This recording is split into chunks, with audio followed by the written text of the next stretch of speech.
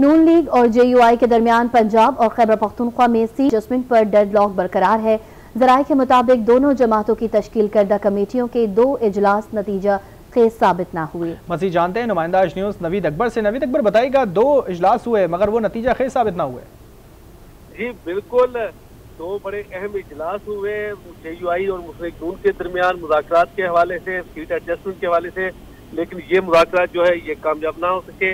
उसकी एक वजह ये थी कि मुस्लिम नून जो है, वो जे यू आई को पंजाब में उतनी सीटें देने को तैयार नहीं थी। जितनी जे यू आई का मुतालबा था जे यू आई चाहती थी कि उसको कौमी असम्बली की बारह, जबकि पंजाब असम्बली की तेरह सीटें दी जाएँ। जब मुस्लिम नून का ये ख्याल था कि उनको सिर्फ़ दो से तीन सीटें दी जा सकती हैं, जिसके ऊपर जे यू आई जो है, वो नाराज़ थी। और जे यू आई ने इसके, इस रवैये ऊपर मुस्लिम नून के खैर पखतूनखा में एडजस्टमेंट करने से इनकार कर दिया मुस्लिम नून से और कहा है, बहुत शुक्रिया नवीद अकबर तफसलात से आपने किया